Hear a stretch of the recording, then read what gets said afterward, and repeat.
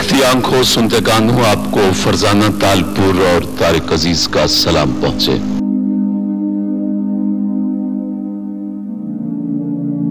इब्तदा है रब्बे जलील के बाबरकत नाम से।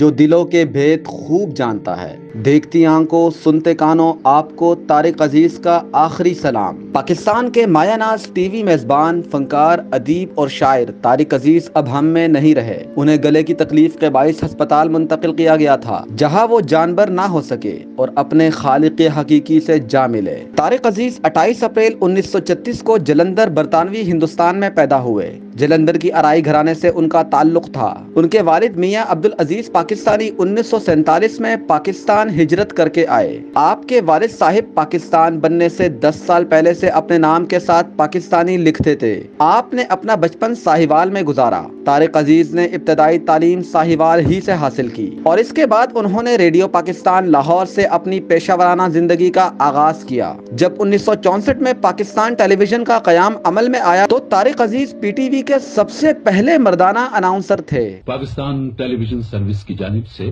तारिक अज़ीज़ आपसे मुखातिब है। ताहम 1975 में शुरू किए जाने वाले उनके स्टेज शो नीलाम घर ने उनको शोहरत की बुलंदियों पर पहुँचा दिया।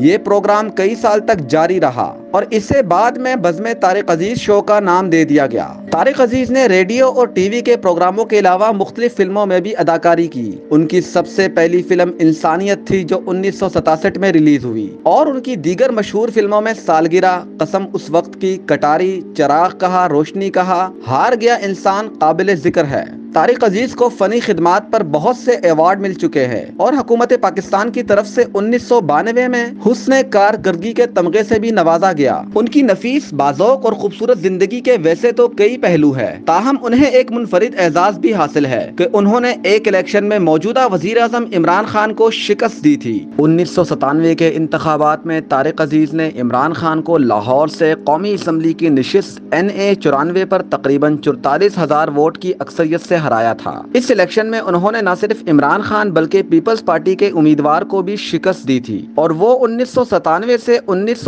तक रुकन कौमी इसम्बली रहे। इंतकाल के वक्त तारिक अज़ीज़ की उम्र चौरासी बरस थी।